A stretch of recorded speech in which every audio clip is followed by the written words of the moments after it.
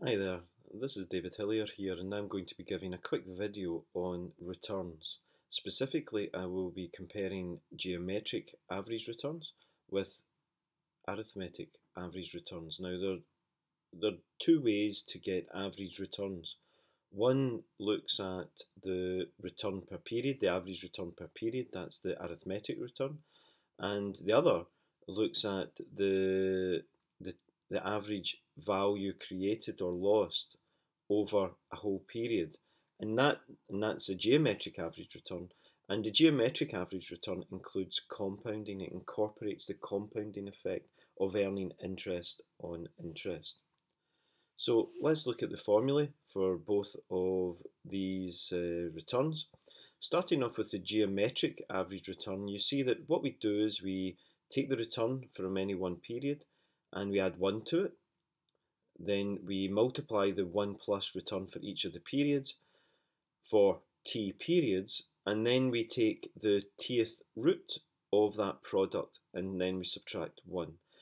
Now the 1 plus r component, that's what you see in net present value or any time value of money um, formulae. And that's right because we're incorporating compounding into the geometric average return.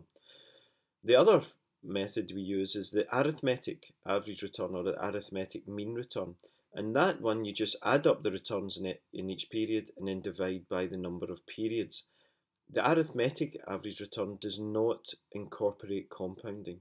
And so the arithmetic average return effectively just tells you your average return made in any one year. Whereas the geometric average return tells you the average value created over the full period. You may think that, that there's not much difference there in terms of the two formulae, but you know there it is subtle but quite important. Now I'm going to take you through just a, a quick example. Now you can see we're looking at the CAC 40 uh, just in the aftermath of the financial crisis in 2007 2008 and you can see the, the really massive negative returns that you got in 2007 and 8.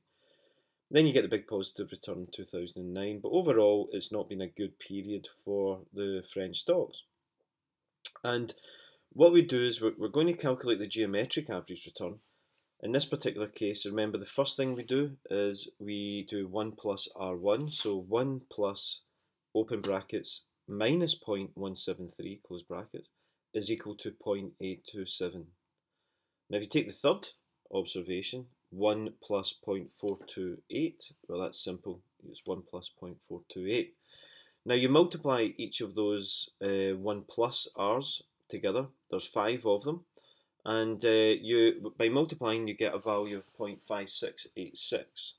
Now we've got to take the tth root, in this case t is equal to 5 because there are 5 observations, so the fifth root is uh, of 0.5686 is equal to minus, well you take 1 off of that fifth root, uh, is equal to minus 0.1068, which is minus 10.68%. So on, a, on average, over the full period, you the French market lost about uh, point, uh, 10.68%. So, how would you calculate the arithmetic average return? Well, in this case, you're just adding each of these and then dividing by 5. Simpler, but that doesn't incorporate the impact of, um, of compounding. Now, if you look at the, the worldwide risk premiums relative to bonds, and you're looking at the average worldwide risk premium, you see that you've got the geometric mean and you've got the arithmetic mean. I've got them for all of the, the different countries. So looking at Europe, you see that the geometric mean risk premium, so that's the return minus the risk-free rate, is equal to 3.9%. But the arithmetic mean is 5.2%. So the geometric mean has incorporated a lot more losses and the compounding effect of those losses, and that's why it's smaller compared to the arithmetic mean, where you're not including any compounding. Standard deviations, as you can see, uh, it's a measure of risk. Um, you see that the, the UK is 17% uh, standard deviation. It's one of the lowest risk markets um, uh, that was in this study. In terms of minimum returns, like 2008 was a dreadful year for the stock markets throughout the world, and you can see that the minimum return over 1900 to 2010 for every country apart from New Zealand was uh, in 2008. And you have a variety of different years uh, for the most positive returns uh, over the countries. So you get the main point to take out of this is that the arithmetic mean and the geometric mean you can end up getting really quite significant differences uh, and it's dependent upon how many upside movements there are compared to the downside movements because it's all about compounding. And it's also dependent upon the timing of those upside and downside movements because remember, the compounding effect means that uh, observations near the start of the period have a bigger effect over the longer term because they're getting compounded all the time. So you can't really say one way or the other whether uh, the arithmetic mean or the geometric mean is going to be bigger. It all comes down to timing, really.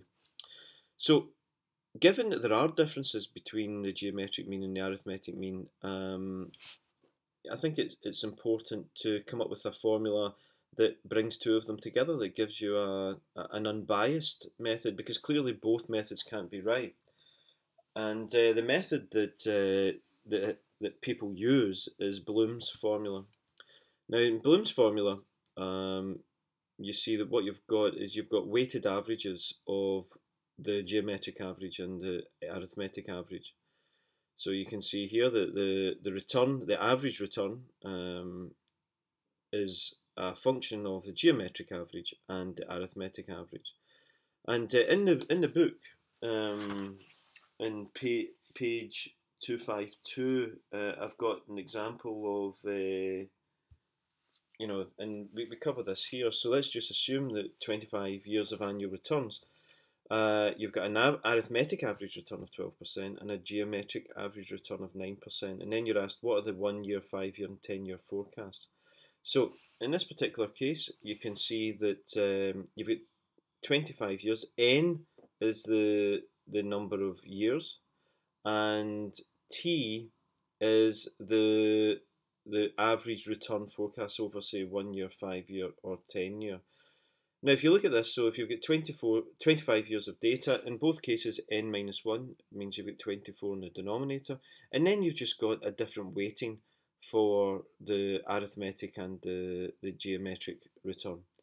And looking at that, you can see that over a, an, a longer average forecast, average return forecast, you see a, a, a move away from the arithmetic, which is dominates in small periods because the compounding effect isn't there, to moving towards the geometric mean, which starts to dominate over a longer period forecast and uh, that is uh, because of the compounding effect that clearly the geometric return incorporates compounding. So if you're forecasting over a longer period then um, you want to include the compounding.